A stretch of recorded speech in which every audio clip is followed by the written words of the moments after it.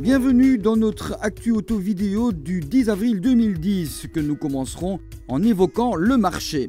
En effet, le paysage automobile poursuit sa mutation avec la plus grosse actualité de la semaine qui concerne bien entendu l'annonce faite à Bruxelles par l'alliance Renault-Nissan et Daimler-Haye d'une coopération stratégique.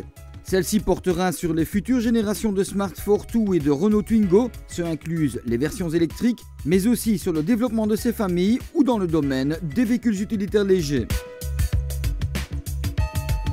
Nous vous en avons déjà parlé voici 15 jours, le nouveau break BMW Série 5 Touring vient d'effectuer sa première apparition officielle lors du salon de Leipzig. Par ailleurs, la marque à l'hélice met bien entendu l'accent sur ses séries 1 et X1, précisément fabriquées à l'usine de Leipzig.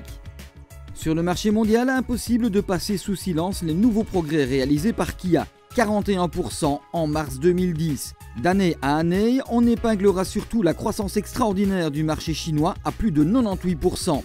Cette tendance à la hausse est également applicable à l'Europe, plus 33,4%, et aux États-Unis, plus 23,6%. Connaissez-vous cette auto? Il s'agit d'une Zenvo ST1, un modèle danois qui fut présenté au Dubai Motor Show avec la prétention de vouloir faire mieux que la célèbre Bugatti Veyron.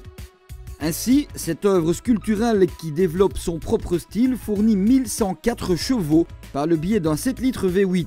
Le 0-100 km à l'heure est franchi en 3 secondes et la vitesse maxi s'établit à 375 km à l'heure. Seules 15 unités sont prévues pour le monde à un prix de 850 000 couronnes danoises, soit environ 115 000 euros. Un peu de fun maintenant avec cette course de 400 miles un peu folle, née en 1978 à l'initiative du Mind Hotel de Las Vegas qui de la sorte entendait assurer sa promotion.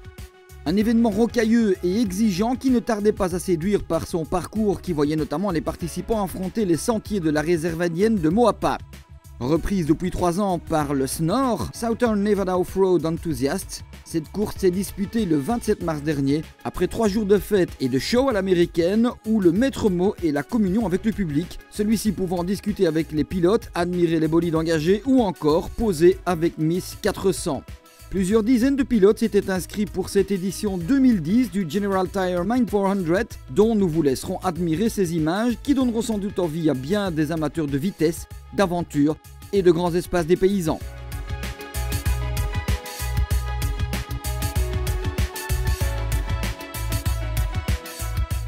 Voilà, nous vous fixons rendez-vous pour notre prochaine édition de notre Actu Auto Vidéo, mais d'ici là, nous vous invitons à aller jeter un coup d'œil sur notre rubrique Turbo Buzz, créée début mars, et qui plusieurs fois par semaine vous propose des photos ou des vidéos plus surprenantes les unes que les autres.